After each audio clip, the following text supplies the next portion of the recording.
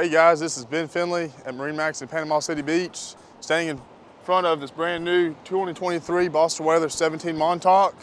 A few things you'll notice here is this light blue gel coat with the chrome graphics, well as this one's optioned out here with the teak step sides, as well as a teak swim platform in the back.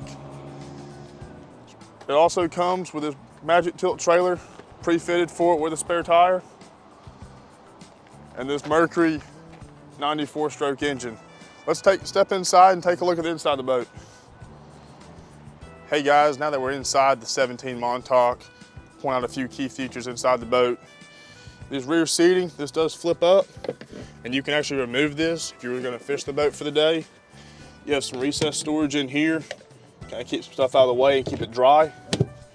So as you come back here, you have that easy access to your bilge pump and this is where you put the plug in for the boat. Move this back towards the back here. Under the captain's chair, you have a nice live well, which is insulated in case you want to keep some drinks in there for the day. Just move up this, slide this back.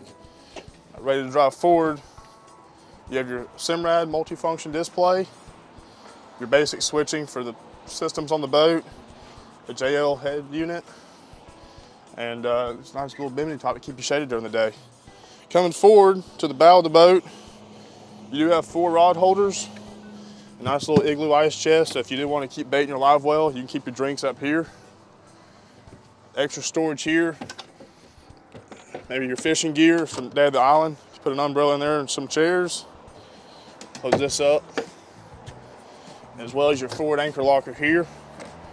And a panel, if you really want to add a trolling motor after you purchase your new boat, you can plug your trolling motor in there and you're ready to go.